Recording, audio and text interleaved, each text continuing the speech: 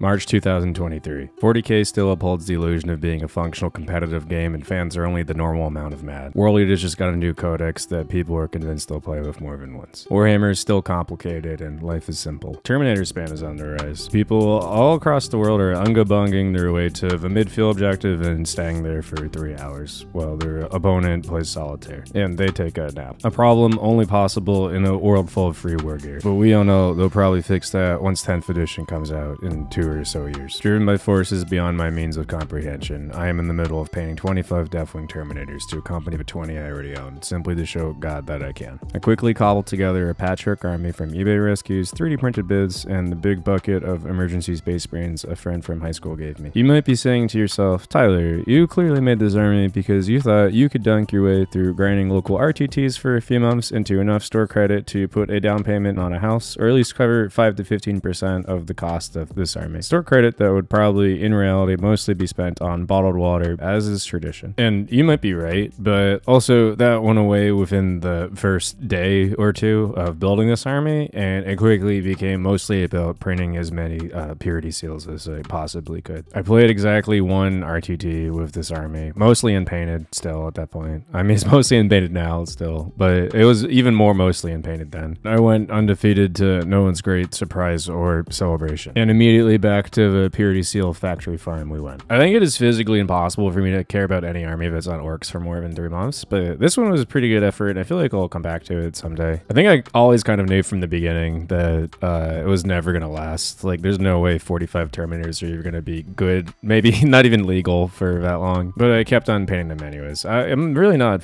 fully sure why. I think I was hoping this video would turn into some kind of like uplifting message of, oh yeah, models can just be for fun sometimes. You don't need to just think of tournaments in order to have fun with the hobby, Tyler. Like it can be for just you. But I don't think that's what happened here. I feel like I ended up in some kind of hypnotic trance of just making Terminators. One day suddenly snapped out of it, and then now they've sat on the shelf for like two months. The only real thing akin to that I can honestly say I took away from this experience is that miniatures have a weird psychic hold over me emotionally that I don't really understand. It. I don't get where it comes from. I mean, it's rooted in some like early childhood thing, surely. I've played this game since I was like 10, but I don't really get it. I don't know why I wanted to spend that much time building 45 Terminators as an adult man without any real plans for them. It just, it just kind of happened. These things happen. Sometimes you just wake up and there's 45 more Terminators than there used to be, and you can't do anything about that. That's just the will of the universe speaking through you. Playing Warhammer has made me really understand primitive idol worship. Like, it's kind of the same thing. There's like these little guys you really, really like. A fun fact I feel like a lot of people don't know is that the terracotta soldiers of Kun Shi Han were like originally all painted, kind of an old hammer colors too. I saw like a reproduction of one six years ago at a museum, and it looked like it was just painted with like 80s heavy metal paints. Just like that super saturated look, mostly primary colors. I mean, they look exactly like Warhammer Fantasy models when you see a bunch of them all together ranked up. I think there's something about Warhammer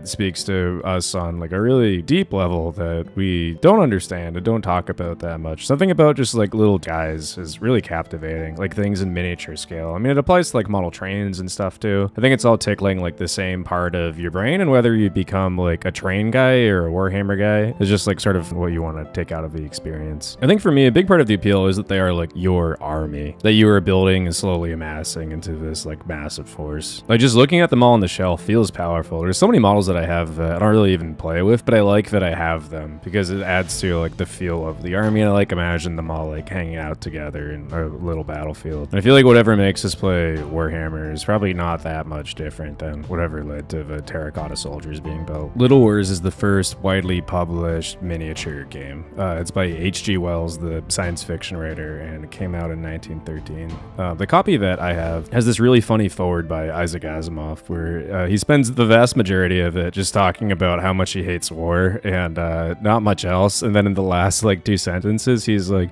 I guess maybe long term people playing this game makes them want to do less war and will just like basically be used to suppress mankind's primal urges, to commit actual war and violence, and instead just uh, get their kicks by doing simulated warfare through little plastic guys instead. And according to my therapist, that's uh, still maybe why some people uh, play miniature war games today in like tournaments so that they can have some kind of outlet for uh, aggression and control that they feel uncomfortable expressing in their personal lives because they're avoiding and hate conflict. But when you spend every Saturday doing fake conflict with orcs for 10 hours, it's okay. That's healthy. That's where you, yeah, someone like a patient of theirs uh, unspecified feels safe. It's really interesting just like going through Little Wars and seeing how much it resembles modern wargaming and Warhammer. Like it's all the same shit. There's just like little guys and little thick terrain, and there's tons of rules. Like this book, it's pretty big, very uh, intricate and specific rules for like different scenarios happening and how to resolve different conflicts. Probably better written than certain unspecified modern war games. Uh, it's just all the same shit. You got your little guys on horses, you got your little soldiers on foot, and all the generals, and they've got different rules than the normal guys. And there's cannons. Uh, the cannons in Little Wars have like pellets that you're supposed to shoot at your opponent's models to knock them over. Uh, a mechanic that I hope comes back to 40k someday. But otherwise, is largely the same.